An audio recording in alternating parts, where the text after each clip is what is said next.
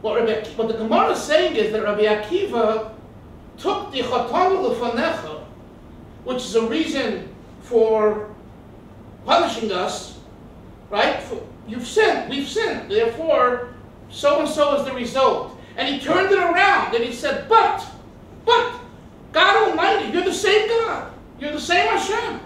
So I understand why you're bringing a decree on the community. But the same Hashem, we only have you. So we have no one else to daven to. We made a mistake. But we appeal to you. And the Gemara says, Umiyad nena. By the way, it says Umiyad. He immediately was answered.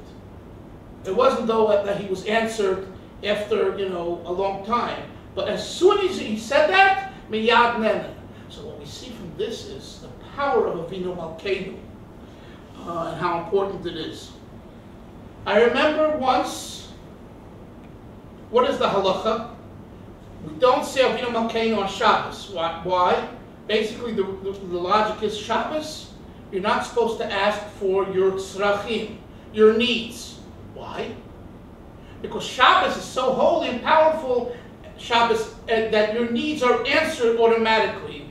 In the terminology of the, of, of, of the Talmud, Shabbos is mikacha uvikaima. It is holy, kacha, sanctified, and, and, and existent.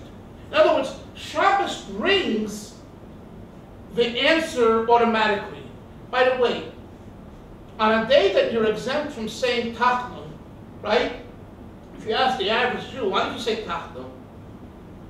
They'll tell you the reason I don't say Tachnun is because it's a bris. Reason I say Tachnun because we have a chosin here. Whatever, whatever the logic is, right? About those never. We're not talking about that. that, that that's a different discussion. We're talking about people who say normally tachnun, and you come to a bris, you don't say tachnun.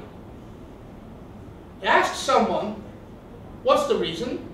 Halachically, the reason is because the festival is such a happy occasion that it, it removes the tachnun. Hasidus adds one nuance that's very important it's not as Chassidus says, it's not just that it's removed, it's removed because it's unnecessary. Because the day itself or the event itself substitutes for what Tachnun would accomplish. You hear that? So in other words, Shabbos we don't say Tachnun. Not only don't we say Tachnun Shabbos, why? Because you're not allowed to mention sin or you're not allowed to mention, you know, your requests. It's not only the negative you're not allowed to, but it's also the positive. We have Shabbos. We have a bris. We have a wedding. You know what kind of great energy and holiness those days bring? And they bring such, or those events bring, and they bring such holiness that you don't need to say Tachnun. I'm saying the same thing with Avinu Malkein. I recall once, on, on Yom Kippur, if Yom Kippur comes out of Shabbos, you don't say Tachnun, right? You know, say you don't say Avinu Malkeinu, right? Mm-hmm. I remember one time, I think it was before the Yom Kippur War, or as it was happening, whatever, the Rebbe instructed them to say the last Avinu Malkeinu during Ne'ilah.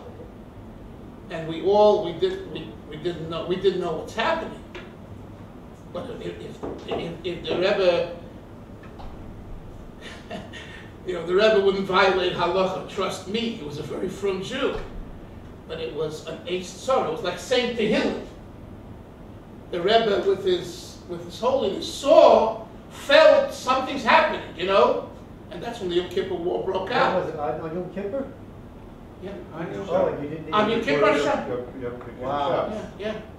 Yeah. Right before I, the war. I, I, I might have even been there, I don't recall, but, uh, and it happened once later again, I think in 1982. It happened a few times during his uh, leadership at the Lubavitcher Rebbe, a few times, mostly not, but a few times. And then later we discovered that there was such a sorrow for the Jewish people, especially in, in Eretz Yisrael, A, a, a problem, an agony, Sorry, a, sorry. sorrows. and that, that at that time, it's like saying Tehillim at night. We discussed last week, right? About not saying uh, L'dol Hashem at night and all that, because you're not supposed to read Chumash or, or Tanakh without commentary at night. We spoke about that, right? But what did we say? That if it's to, if someone, God forbid, is not well, you say Tehillim at night, because it, it, it's out of the boundary of hal, hal, halachism. It's, it, it's not any, it's no longer halachic, it's now um, transcendent. It's, it's going kind of directly to God. It's heart to heart. You know, it's, it's a whole different experience. So when when uh, I, I, I'm, the Rebbe didn't explain himself. I, I, I'm I'm I'm explaining what I think would be the explanation if you had to put it into words. That because the Jewish people were in such a situation, he, he, he called for the saying of Yom Malkeinu beseeching Hashem.